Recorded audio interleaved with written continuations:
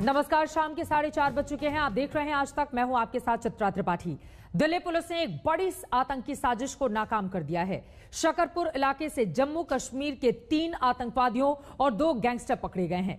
खास बात यह है कि इस गिरफ्तारी के साथ ही पाकिस्तानी खुफिया एजेंसी आईएसआई की टारगेट किलिंग और खालिस्तानी आंदोलन को हवा देने वाली साजिश का भी हुआ है। खुलासा, ये रिपोर्ट देखिए।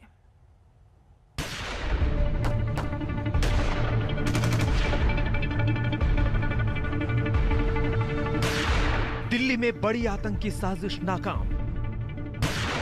दिल्ली में घुसे पाँच आतंकी गिरफ़्तार। शौर्य चक्र विजेता का किलर भी शिकंजे में। बेनकाब हुई पाकिस्तानी खुफिया एजेंसी आईएसआई की साजिश। गैंगस्टर और आतंकवादी के कॉकटेल का फांडाफोड़ नकाब के पीछे छिपे ये पाँचों चेहरे बेहद खतरनाक हैं। ये वो आतंकी और खतरनाक गैंगस्टर हैं जिनकी लंबे अरसे से दिल्ली पुलिस को तलाश थी। अहमद गोजरी उर्फ़ शैम गुरु मोहम्मद अयूब पठान उर्फ़ मामू, रियाज अहमद राठर। पाँच में से ये वो उन तीन संदिग्ध आतंकियों की तस्वीर है, जिन्हें दिल्ली पुलिस के स्पेशल सेल ने शकरपुर इलाके में चले एनकाउंटर में धर दबोचा। ये तीनों जम्मू कश्मीर के बडगाम के हैं। इसके अलावा बाकी दो गिरफ़्तार संदिग्ध गुरजीत सिंह और सुखदीप सिंह हैं।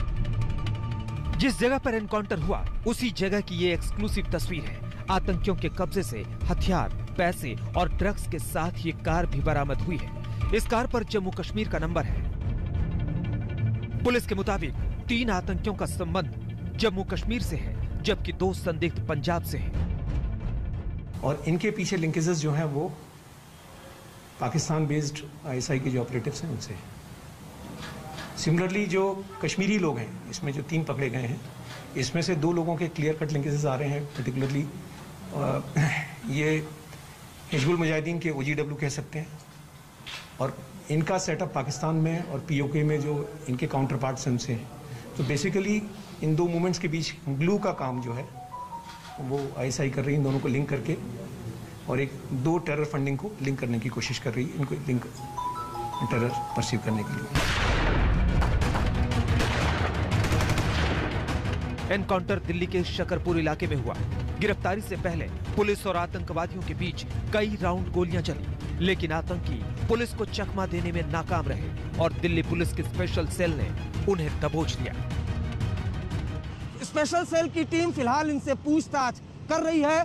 ये जानने की कोशिश कर रही है कि दिल्ली में और कौन कौन लोग इनके निशाने पर थे, लेकिन जिस तरह से रेडिकल इस्लामिक ग्रुप और रेडिकल खालिस्तानी ग्रुप दोनों एक प्लेटफॉर्म पर आए हैं। ये जाँच एजेंसियों के लिए बड़ी चिंता का सबब है।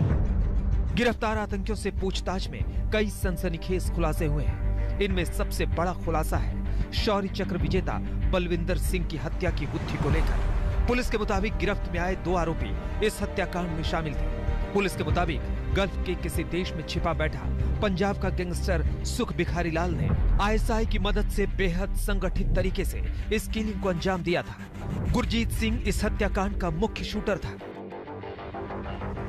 इस किलिंग के पीछे जो मास्टरमाइंड है, जिसने ये डायरेक्शन दी थी किलिंग की, वो उसके थ्रू आई थी। वेपन्स वगैरह के अरेंजमेंट भी सुख भिखारी वाल ने अपने आदमियों के थ्रू करवाया था। इसमें इसको बहुत ही नीड टू नो बेसिस पे इन्होंने ये ऑपरेशन किया था कि टारगेट किलिंग किसी ने की रैकी किसी ने की वेपन किसी ने सप्लाई किए। और इतना सिस्टमेटिक तरीके से कराया गया जिससे लगता है कि कहीं ना कहीं ये पूरी की पूरी किलिंग जैसे मैंने कहा कि इसमें ये टिपिकल आई सिग्नेचर्स हैं जो मिले हैं। इस साल 16 अक्टूबर को पंजाब के तरन तारण में घर में घुसकर बलविंदर सिंह की हत्या की गई थी। तब से पुलिस आरोपियों की तलाश में थी।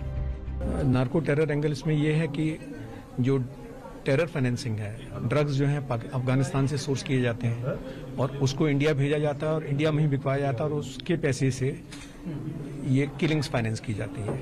नौ अफ़गानिस्तान में प्रेजेंस जो है ईसाई की है। यहाँ कश्मीर के मूवमेंट के पीछे भी वही है। और हिजबुल के ऑपरेटिव्स का इस्तेमाल कर रहे हैं वो खालिस्तानी प्रोपेगंडा को फैलाने में और पंजाब के क्रिमिनल्स का, गैंगस्टर्स का इस्तेमाल कर रहे हैं टारगेट किलिंग में। ऐसे वक्त में ये आतंकी दिल्ली में पकड़े गए हैं, जब राजधानी की सीमा पर 12 दिन से किसान आंदोलन कर रहे हैं। ऐसे में बड़ा सवाल ये है कि इन आतंकियों की मंशा क्या थी?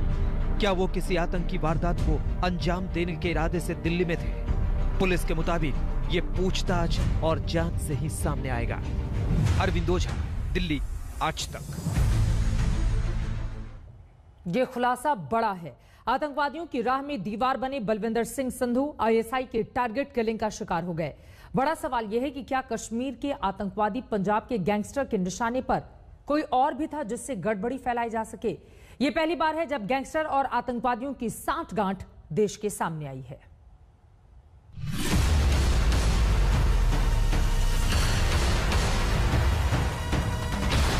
ये साठ गांठ खतरनाक है। तीन आतंकी और दो गैंगस्टर और इनका आका पाकिस्तान की खुफिया एजेंसी आईएसआई गिरफ़्तार आतंकियों और गैंगस्टर से पूछताछ में पुलिस को जो जानकारी मिली है, उसने आईएसआई की काली साजिशों को बेपर्दा कर दिया है। आतंकियों और पंजाब के गैंगस्टर की मदद से पाकिस्तान फिर से खालिस्तानी आंदोलन को हवा देना चाहती थी। किसी गल्फ देश में छिपा गैंगस्टर सुख भिखारी लाल आईएसआई का मोहरा बना हुआ था। आज जो आतंकी पकड़े गए हैं, वो सुख भिखारी लाल के ही गुर्गे हैं। अफ़गानिस्तान में प्रेजेंस जो है आईएसआई की है।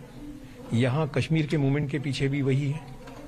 और हिजबुल के ऑपरेटिव्स का इस्तेमाल कर रहे हैं वो खालिस्तानी प्रोपेगेंडा को फैलाने में और पंजाब के क्रिमिनल्स का गैंगस्टर्स का इस्तेमाल कर रहे हैं टारगेट किलिंग में।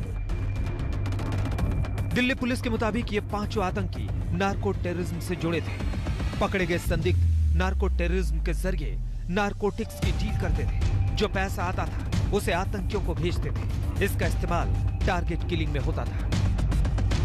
पाँच लोगों को गिरफ़्तार किया गया है। पाँच लोगों में तीन कश्मीर बेस्ड हैं दो पंजाब बेस्ड हैं। ये दो जो हैं ये वही हैं जो बलविंदर सिंह संधू के मर्डर में शामिल थे और जो कश्मीरी थे ये इनको फंडिंग करने आए हुए थे फर्दर पैसा देने आए हुए थे। दिल्ली पुलिस की स्पेशल सेल के डीसीपी प्रमोद कुशवाहा के मुताबिक जिस तरीके से बेहद तैयारी से बलविंदर सिंह की हत्या हुई थी, उसमें आईएसआई के पैरों के निशान साफ़ नज़र आए। नार्को टेरर एंगल इसमें यह है कि जो टेरर फाइनेंसिंग है, ड्रग्स जो है अफ़गानिस्तान से सोर्स किए जाते हैं और उसको इंडिया भेजा जाता है और इंडिया में ही बिकवाया जाता है और उसके पैसे से ये किलिंग्स फाइनेंस की जाती है। जो पता चला है कि ये आगे भी इनकी प्लानिंग थी कुछ लोगों को लीडर्स को मारने की। उसको अवॉइड किया गया। फर्दर भी कुछ प्लान कर रहे थे बट वो अभी अप्रोप्रिएट स्टेज नहीं आपसे शेयर करने तो अभी नहीं कर पाएँगे। वक्त आने पे आपके साथ शेयर किया आतंकवाद के खिलाफ शौर्य चक्र विजेता बलविंदर सिंह बड़े योद्धा माने जाते थे। आतंकवाद के दौर में पंजाब के तरन तारण में बलविंदर सिंह अपने घर से बहादुरी से आतंकियों से लोहा लेते थे। तरन तारण के कस्बे भिखीविंड में बलविंदर सिंह ने खालिस्तान कमांडो फोर्स के आतंकी परमजीत सिंह पंजवार को कड़ी चुनौती दी थी। 1980 से उन्नीस सौ तिरानवे के बीच बलविंदर सिंह के घर पर 11 बार हमले हुए, लेकिन हर बार उन्होंने आतंकियों का बहादुरी से मुकाबला किया। इसलिए वो आतंकियों की हिट लिस्ट में थे खालिस्तानी जो ऑपरेटिव्स हैं मतलब आईएसआई ये खालिस्तान का प्रोपेगेंडा चला के कुछ लोगों को सामने किए हुए हैं, वो लोग कश्मीर के कुछ ऑपरेटिव्स के साथ मिल गए हैं और इसी सिलसिले में पीछे एक टारगेट किलिंग भी हुई थी पंजाब में, जहाँ पर बलविंदर सिंह संधू साहब मारे गए थे जो शौर्य चक्र अवार्डी थे। अक्टूबर में उनकी किलिंग हुई। दिल्ली पुलिस की ये कामयाबी बड़ी है, लेकिन ज़रूरी है ये पता लगाना कि आतंकी दिल्ली में किस मकसद से आए थे। अरविंद ओझा, दिल्ली, आज तक। इस पूरे ऑपरेशन को संभालने वाले दिल्ली पुलिस के स्पेशल सेल के डीसीपी प्रमोद कुशवाहा ने आज तक से खास बातचीत की है। देखिए बातचीत का एक हिस्सा। पाँच लोगों को गिरफ़्तार किया जो मेन बड़ा ब्रेक थ्रू है क्या? है इसमें बड़ा ब्रेक थ्रू ये है कि फ़र्स्ट टाइम हमने एक साथ जो पंजाब का एंगल है पंजाब में जो टेरर फैलाने की कोशिश करते हैं उनको और जो टेरर फाइनेंसिंग करते हैं कश्मीर को उनको एक साथ पकड़ा है। और इससे जो बड़ी चीज़ इस्टेब्लिश हुई है कि देर एक लिंक एक कड़ी पकड़ी गई है जो टेरर फाइनेंसिंग कश्मीर के थ्रू हो रही है और गैंगस्टर्स के थ्रू किलिंग जो है पंजाब में हो रही है। यानी कश्मीर टेरर और खालिस्तानी टेरर को लिंक करने की आईएसआई की कोशिश जो है वो एस्टेब्लिश हुई है। तो ये अपने आप में बड़ा खुलासा कर रहे हैं कि किस तरह से पाकिस्तानी खुफिया एजेंसी आईएसआई पंजाब में खालिस्तान मूवमेंट को फिर से ज़िंदा करने की कोशिश कर रही है। बिल्कुल मैं कहूँगा चूँकि पंजाब के लोग खालिस्तानी आइडियोलॉजी से डिजोल्यूशनड है, इसीलिए किलिंग्स के लिए ये पंजाब के क्रिमिनल्स और गैंगस्टर्स का इस्तेमाल कर रहे हैं, जो लड़के पकड़े गए हैं क्रिमिनल्स हैं ये। और इनका जो हैंडलर है, वो गल्फ में बेस्ड है, सुख भिखारीवाल। और सुख भिखारीवाल के पीछे अगेन आईएसआई बैठी हुई है, जो उसको हैंडल कर रही है। फर्दर जो कश्मीर के ये तीन लोग पकड़े गए हैं ये ड्रग्स का काम करते हैं और ओ जी डब्ल्यू हैं, ये हिजबुल मुजाहिदीन के और इनके कनेक्शंस हिजबुल मुजाहिदीन में हैं। इनमें से एक जो पठान है, उसका अपना पीओके में है और उसके अपने कजन्स वगैरह जो हैं, वो पाकिस्तान में बैठे हुए हैं एचएम के लिए काम करते हैं। और अगेन एचएम की लिंकिंग कराई जा रही है एचएम के चैनल की नेटवर्क की लिंकिंग कराई जा रही है, पंजाब के चैनल से। जम्मू कश्मीर के भी आपने तीन पकड़े हैं। उनके नाम क्या है और किस तरीके से जो ये नार्को टेररिज्म है, कहाँ से ये ड्रग्स आ रही है, किस तरीके से इंडिया को इफ़ेक्ट कर रही है और टेररिज्म में इस्तेमाल हो रही है? देखिए, जैसे मैंने कहा, पठान है, राठर है, खान है, ये तीन कश्मीर के हैं जो पकड़े गए हैं और ये गुरजीत और इसका एसोशिएट सुखदीप है जिनका ये जो पंजाब के पकड़े गए हैं। और इनका नेटवर्क मैंने आपसे फिर कहा कि जो पंजाब के लड़के हैं ये दोनों। इनके पीछे सुख भिखारीवाल है। सुख भिखारीवाल के साथ में ऑलरेडी जो पंजाब की एक ज्ञानी ज्ञानी करके गैंगस्टर है एक सुखा गैंगस्टर है जो ऑलरेडी वेरीफाई कर रहे हैं वो जे, जेल में चल रहे हैं। ये उन सब के कनेक्शन में थे ये लड़के। वेपन्स जो हैं इनको सुख भिखारीवाल के इंस्ट्रक्शंस पे सप्लाई किए गए थे। सफिस्टिकेटेड इंग्लिश वेपन्स हैं इनके पास में। टारगेट किलिंग की साजिश रची गई थी बकायदा खास। दिशा निर्देश देकर इन्हें दिल्ली भेजा गया था। फ़िलहाल पूछताछ लगातार जारी है, जैसे और जानकारी मिलेगी, आज तक आप तक पहुंचाता रहेगा। एक छोटे से ब्रेक के बाद हम फ़ौरन लौट रहे हैं। आप देखते रहिए आज तक। नमस्कार, मैं हूँ अंजना ओम कश्यप हमें उम्मीद है ये वीडियो आपको पसंद आया होगा। लेटेस्ट खबरों के लिए यूँ ही देखते रहिए आज तक, और इस वीडियो के पसंद आने पर लाइक, शेयर एंड सब्सक्राइब करना ना भूलें।